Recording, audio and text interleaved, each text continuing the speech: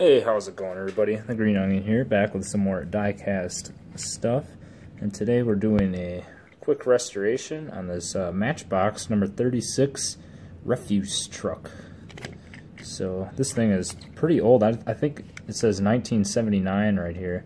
But I'm not sure if that's the casting date when this casting was made or the actual um, when this thing was the actual truck was made because that seems like a long time. That's over 40 years, and to be honest, this truck is actually in fairly decent shape.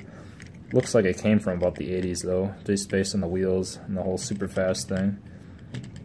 So either this thing was just put in a box and neglected, or the kid who owned it was very, very nice with it, because even the decals on the side here, like, look at that. It's like almost brand new for 40 years, so I think I'm going to try and keep those around. It just needs a little bit of a repaint and the wheels need a little help too. They're a little wobbly, wonky. The axles need to be straightened out, but I will try to save the wheels. So, it's always, the first step is to drill out the posts. So, you can take a look at the parts here. Here's the base. Matchbox Super Fast, Matchbox Toys Limited. So this is after they were uh, uh, broken away from Lesney. So this is no longer Lesney. So this is probably about maybe late 80s, I would think. So we got the wheels on there. I'm going to have to grind these tabs out to get the wheels out because I'm going to straighten out the axles. And the wheels themselves look to be in pretty good shape. So I see no reason not to save them. The, the only problem is they just uh, have a lot of chrome loss, but I do have the chrome pen for that, so I think I'll be saving these wheels for now and they fit the garbage truck or refuse truck. I don't know if refuse is an English term. I think we in America say garbage trucks. We never say refuse truck, but I guess that is a English slang term. I'm not really sure though. But there's the base. We have this little assembly here that kind of slides off, and that's the little the little dumper, the little garbage collecting box here. It's kind of just a big box here with this little sliding mechanism, so when they're together, kind of pushes pushes through here like that. So you can put your trash in the back and slide it on out. So that's that piece. Then the actual box here, Collectomatic. It's pretty interesting. and then we got the uh, Metro DPW66. I think that stands for Department of Public Waste. So that's that. And then we have the actual uh, body of the truck. And let's try to get this windscreen on here, or windshield. All these trucks are very hard to get out. There we are. Even has like an arrow that would show the uh, factory workers where the uh, windshield would need to be facing to be put in the truck, which is kind of interesting. And the win window itself is in very good condition. Very, very nice overall. I just don't understand the colors. Red. I did a restoration on another uh, truck before, a articulated truck that had the same kind of style and the windshield was also red, so I guess Matchbox just really likes trucks with red windshields. So moving on to the body now, all in all, looks pretty good for uh, 40 whatever years this was made. Just a little bit of paint loss, which I can fix easily. Matchbox 36 slash 5. That looks kind of like a flatbed truck without the uh, garbage bin on the back. So, uh, yeah, first step as always is to take this, take the metal parts like the base, grind off the tabs with the Dremel cutting wheel or something like that, or the sphere cutter. Get the wheels off, send these things to the paint stripper. Alright, the next step as always is to strip the car. So we have our little paint stripping box. Let's get these in here. And then we're just going to use the Citristrip stuff.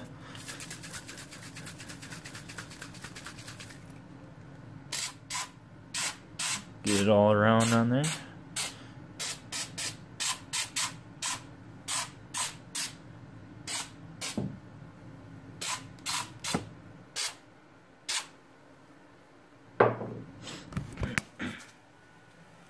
And that should do it.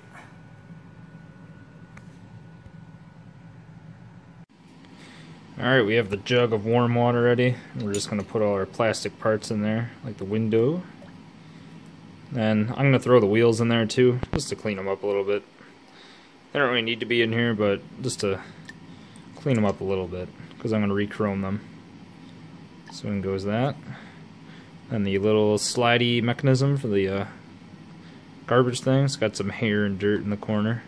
The only thing I'm not going to be putting in there is the actual box because I don't want to ruin those decals on there. I'm just going to keep those as is instead of having to make new ones. So I'm just going to go over this with like a wet wipe, like a baby wipe or something like that, just to clean up some of this stuff. Some of that stuff is just plastic scuffing from the cab of the truck being uh, rubbing against the box over the years. And this thing doesn't seem to be in too bad a shape. I'll just go over it with a wet wipe and clean it up that way. Alright, here's how the plastic pieces are looking after the water bath. You can see no dirt or anything has remained in there. There's a little bit of dirt caked in the crevices on this thing, but I got it all out and everything is looking pretty much brand new, especially this windscreen or windshield. Has a nice finish to it. It's going to look great once I uh, put a layer of clear over it. And then the wind, uh, tires and wheels here, they do look pretty good after that, but they still have some light burring, I guess, on the inside edge of the wheels, as you can see there. So I'm going to have to go over that again.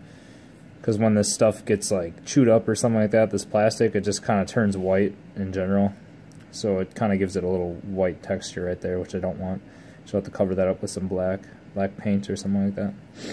So I think the next step is going to be these wheels. You can see the axles are not straight by any means. They're a bit bent away from all the years in that truck and kids playing with it and whatnot. So I'm just going to take a pliers here like this one and we're just going to bend our axles back into place over time. And I won't bore you with that because that is very, very boring. So I'm just going to cut to when they are straightened out. Alright, the wheels and axles are looking pretty straight now, as you can see there. That one and then the other one right here is looking pretty dang straight. These are hard to get 100% straight. Once they bend and kink, it's very, very hard to get it right, very, like, right back to completely straight as it was before. But I think I did an okay job given the circumstances of this truck. So let's finish off this these wheels here with some liquid chrome here. This is the liquid chrome, the Molotow Molotow pen right here.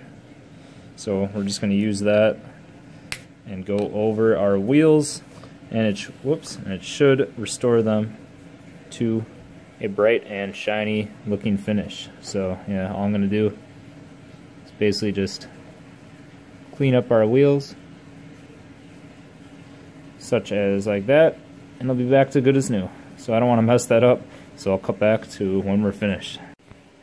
Alright, this is the wheels after the chrome here you can see they're looking very, very nice. Almost took them back to the factory finish, basically.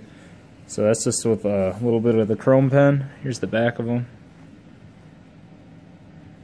And they are ready to go right back on the garbage truck. So let's check on the garbage truck that is sitting in the paint stripper.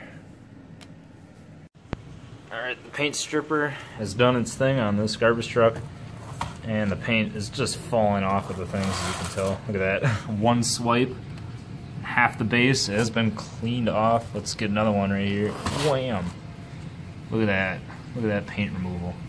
So let's clean up these uh, pieces of the body and the base and let's get them ready for the paint. Okay, paint removal was pretty decent on this car. There's still a little bit of areas that it didn't come off. And on this side, it really didn't want to come off on this side. I don't know what happened here, but that's alright because we have the wire wheel for that. Here's the base, looking pretty good. But yeah, that's why we have the wire wheel, which most of this paint I'm betting will just come right off. Enough wire wheel in.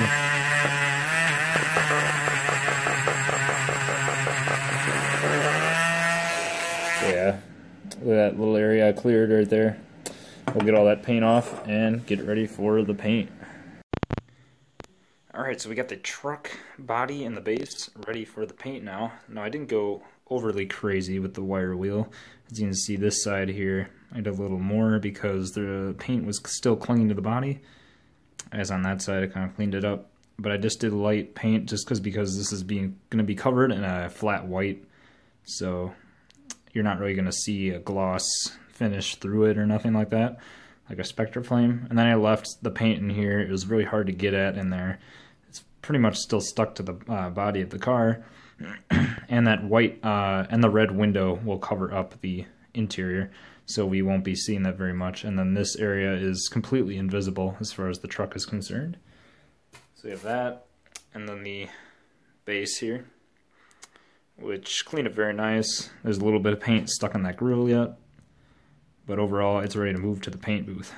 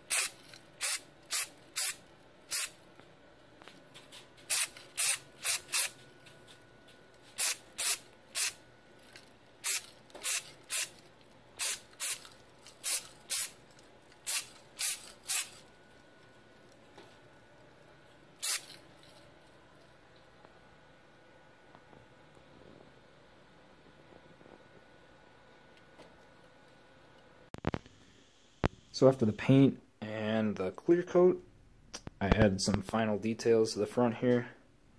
You can see I did the lights, the number plate, this little grill thing right there, and the door handles. And this truck is looking very, very nice. I just used the primer and I just glossed over it with the clear coat so it would become gloss instead of the flat white. So that took care of that. I think it turned out pretty good. Here is the base also in the gray primer and just with a clear coat on top of it so it'll retain its uh, shine. So that being said, it's time to put this car or truck back together. So now that we're all done, here is the finished truck. so I am very happy with the way this one turned out. I think it looks very clean, looks very nice. Everything is painted pretty good. There's no errors or anything that I made. I think I added some nice extra details up front there, such as the headlights and the number plate and that little grill thing over there. So, as always, here's a picture of what it looked like before.